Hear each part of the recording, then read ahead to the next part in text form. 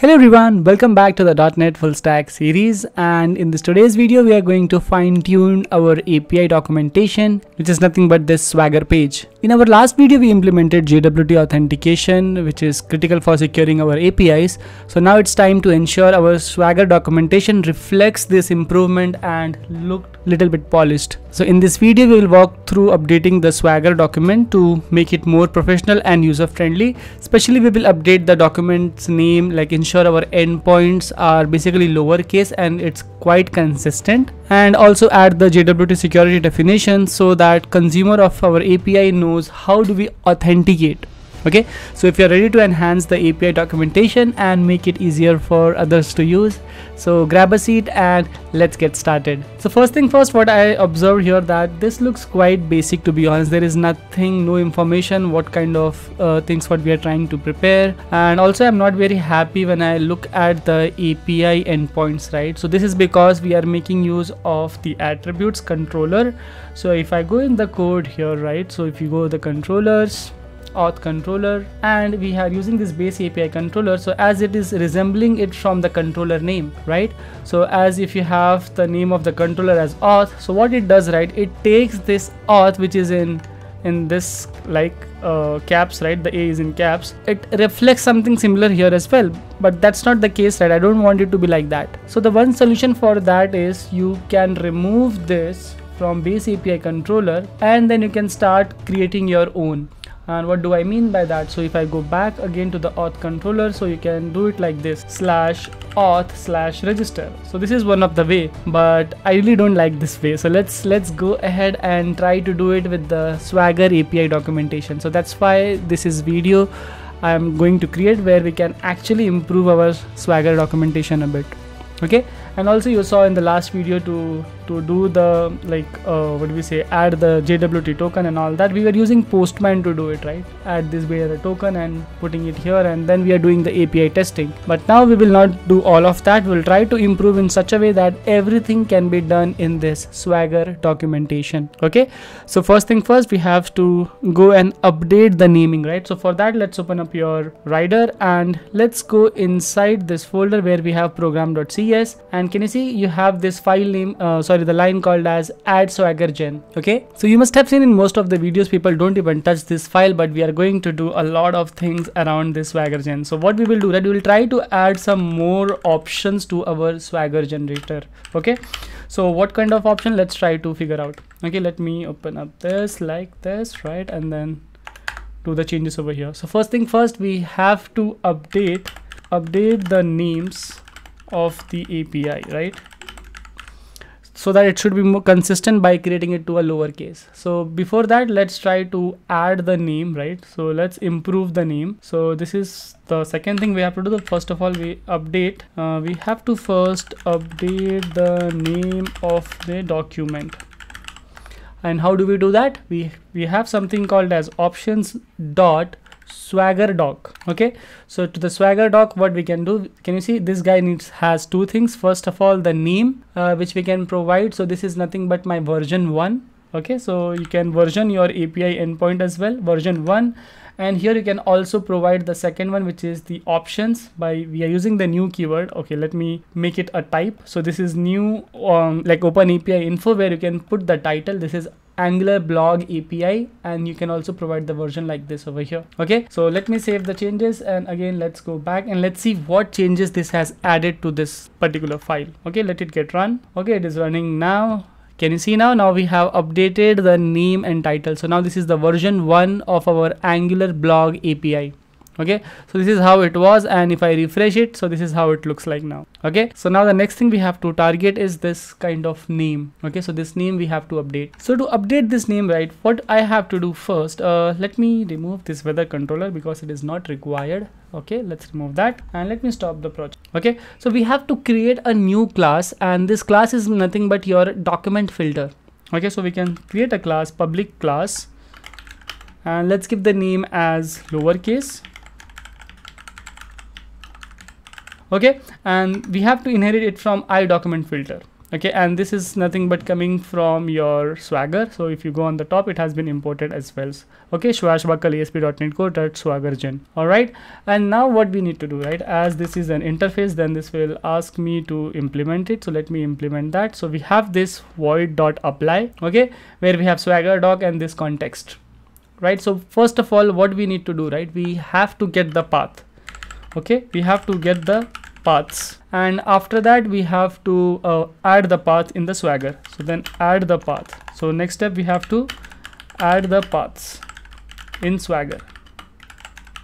Okay let me improve this. Yes. So how do we get the path? So for that let me just say where paths will be is equals to my swagger doc right? Swagger doc dot paths okay inside this path we can convert it into to dictionary. Okay so what we have to provide first can you see we have this key and then we have actual where we can try to convert it into the lower case so what we will do right? So we will say path and this path will have path dot key and then here we can specify to lowercase invariant. So there is something called as to lower invariant and that's what we are going to do that. And next thing what we have to do again we will again use this path and use this lambda expression and then after that we have path dot key right? So we have swagger dot doc dot path okay and this path inside that we just specify this path key which we just now like updated right? So we'll say path dot path dot key and that's it. And the moment you do this right? So now you can say that this will have all your paths on the top. So you have updated all your path. And now you have to add that path in the swagger doc. So what we will do right? We will again just say it as empty swagger doc dot paths and we will say it as new new open API paths. And now we will start adding that. Okay so to add this side we will make use of the for each. Okay so in the for each the collection is nothing but your paths what we have created on the top. And this will nothing but your path item. Okay and based on that you will say swagger doc dot paths dot add. And then we will start adding this new key what we just now created. So we have this path item path item dot key okay path item dot key. And the second thing is your path value. So we get it from path item dot value. Okay and the moment you add this right so just save the changes. Okay and now you have to make use of this class on the top. Okay so what you will do right just go on the top. So just below this right where you have to update the api endpoint. So you'll say options dot swagger generator option dot document filter dot add. And then you can just say new lowercase document filter what you just have now created just now created okay and let's save the changes and again run the application. Okay i think there is something which is failing yeah because we have removed the controller. So let's go back here and we don't need this weather controller anymore right? So let me also delete this weather controller edit and there will be a delete option. Let's delete this. Okay so that has been deleted and now let me run the project again. It should start now. Yeah the project has been started. And now can you see right now my auth got updated to the lowercase now. So i don't need to do it with the controller name and do everything explicitly. Can you see? Now this is in cap caps if I refresh it all got changed to the lowercase and that's what I want right? My document to be all same not something is in cap something is in lowercase and all that. Okay? So that thing can be done by this piece of code. Okay?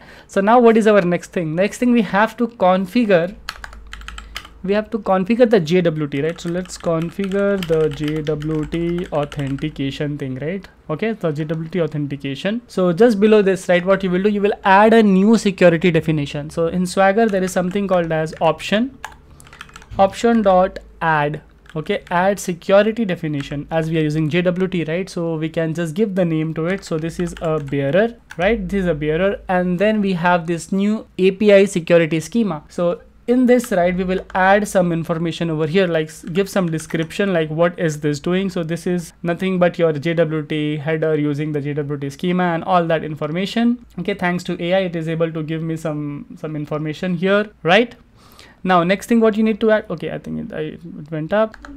Right right next thing what you can add here you can give the name to it. So the name is nothing but your authorization. You can say in parameter like header then you have type which is nothing but your api key and then you can also provide the schema which is nothing but your bearer. Okay? So once you add this right so this is nothing but help you to the document part. Okay? If i again refresh the application let's restart. Okay? So once i do the restart can you see i'm able to get a security option as you have added that security definition. So it has been added here as an authorized so if you click on the authorize, so this is what I was talking about. So we have added some uh, date like definitions, right? Like this is JWT using header, the name, the in, and then the value.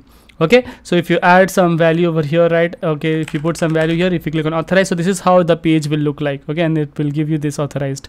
But this is just a fake one. We are not even actually added all the requirements. So we have to add the security requirement explicitly okay? So this is just what we have added the definition right? So if you remember the description so whatever the description you have added here all of those are visible over here. Okay? When we click on this authorize and all this information. Okay? So now let's try to add our real token and try to click on authorize. But to do that right we have to add one more thing which is nothing but the bearer security requirement. Okay? So let's go ahead and add that as well. And this is very important. Okay? So i will be going very slow just to explain this. So we have to add this add jwt bearer security requirement okay? Requirement okay? And now what i'll do right? So we have something called as options dot add security requirement as you can see this one. And then inside this thread we will say new open api security requirement which is this okay? And this is nothing but going to be a class which will accept few things more. And this is a but nothing but my object right what i just opened. And inside that it will accept an object. I don't know why is it going like that. Yeah this will accept an object and inside this we have to provide the new API security scheme. So we'll say new open API security scheme right? And inside that you will have something called as reference where you can say that okay this is again new class which will have open API reference and inside this you will have type. If i'm not wrong yes. And type will have security schema and id will be a bearer. Okay? Just below this you will have another schema. And the schema you can provide as oauth. And you can give the name as bearer. And in parameter is nothing but your header. Okay? And just below this you will have to specify this empty array. And this empty array is nothing but whatever the dictionary value you have read the keys what it requires. So you just have to put this empty so that it is happy now. Like not uh, throwing any errors or issue okay? Let me stop this okay? Once you added all this basic information again if you want you can make use of ChatGPT as well to get such information. So that is also allowed. But the only thing is you should know what kind of security requirement we are trying to add okay? So this is very important. So that's why i went a little bit slow try to explain what is this doing okay? So once you add all of this right? So now you don't need postman. So if i run the project i run the project okay think everything is success yes it will open up the browser right. And now if i refresh this again i think it takes some time to load. Yes it's loading. Hmm, i don't know what happened. Let, let me refresh again. Let me see if something got break. Yes it is not able to open. Let me again close and restart. Build success. Yeah now it is opened I think yeah can you see now? Everywhere we have this lock button okay? Now if I try to click on this API slash user try to click on execute as expected I'm getting 401 which is valid. So to get this right first we have to authenticate it. So let's authenticate by saying abc at the rate gmail.com and the password is 123456 whatever I have registered already okay? So if I click on execute can you see I get a token? Uh, let me copy this token. And this token will be used in the authorize. Now if I go here this is my bearer type. So I'll say bearer and I'll paste this and click on authorize. So this will do a login for me for whole. Can you see now this log icon got changed. And now if I click on execute my expectation is that I should be able to get the response and that's what it is. I got the response successfully. Okay? So which means I don't have to leave this swagger page to go anywhere else on other application to to check the valid uh, APIs like all to check the resources which are which needs the login okay? So now we can actually test that by using this authorize. And now if you want to log out if you click on this log out close. And now if you again try to click on execute you will see 401 okay? So that's how we were able to also add this feature in your .NET full stack application. Now let's also try to uh, improve this class the program.cs file because this is getting more bulky right? And this is not good to have everything in this. So what we will do right? We'll try to create a extension method okay? And we will try to put all of this like uh, swagger the jwt all into a single file. Okay? So to do that right uh, maybe what i can do i can have a service collection exception um, extension on the top class as well. So i'll say service collection extensions. Okay? And this is nothing going to be my static class and this is my okay right. So now what i'll do uh, i will create one more method which is public static and this is nothing going to be a i service collection service collection and add web services. Okay? And what this will do this will accept uh, this i service collection services. And then inside that I will try to put all of my logics. Like for example I don't need this right so I can copy this all swagger documentation. Maybe I can cut it directly and put it in the service collection okay? And I can import all the necessary things over here right? Now we don't need this builder. We can directly use the services from the top right? And now everything is in the one place. So this is for web service. I what I can do that I can also add the token over here in this particular class right?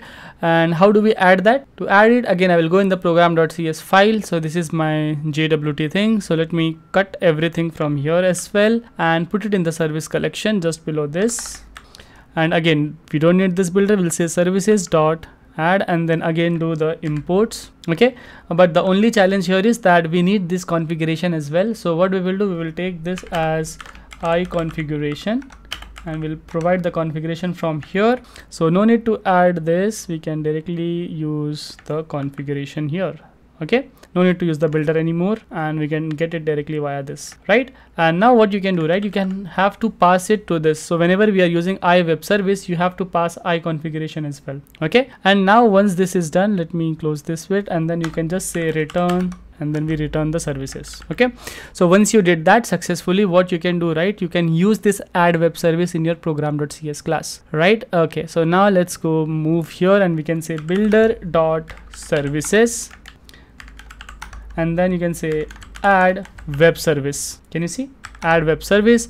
Uh, the only requirement to this web service is you need to pass the instance of configuration. So we can say builder dot configuration and that's it right and let's go here and i want to improve the yeah i think everything is fine now let me save the changes stop the application and rebuild the application okay I'm expecting build should be success. Yes, it is success. And now let's run the application just to validate everything works fine. So if I go back here and if I refresh, let me try to do login okay and put the password 1 2 3 4 5 6 click on execute i'm expecting everything should work again yes it's working fine. Copy this click on authorize. Error with the token name click on authorize. And now I will be able to get all my users right? I'm getting the response. If I click on logout and if I click on execute again then can you see I'm getting 401 all right and as I can say there you have it. Like you just now have polished your swagger documentation by giving it a proper name making our endpoint consistent and also adding JWT security definition okay? So this small improvement go a long way in making your api more user friendly and professional okay? So that's why i wanted to teach you all about how important it is to also maintain your swagger documentation all right so if you have enjoyed this video then don't forget to give it a thumbs up and subscribe to the channel for more deep dives video in .NET development. In the next video we will be covering the topic on user management okay? So we will also see like because currently if you see we are storing the password in the database as uh, let me just show you. I think i have it over here. Or db let me open up the table. Maybe the users table right? And let me just select. And now if you see right we are storing the password as an actual string which is not good. So we will also see in the next video how do we do the user management. And we will try to complete the whole api endpoints related to the user okay? So next video is going to be a very big one and very important one as well because we will see role management and we'll also see the user management how we can do that in a .NET project. Okay? So if you want to learn that then subscribe to the channel alright? So thanks for watching and as always guys keep coding keep learning and see you guys in the next one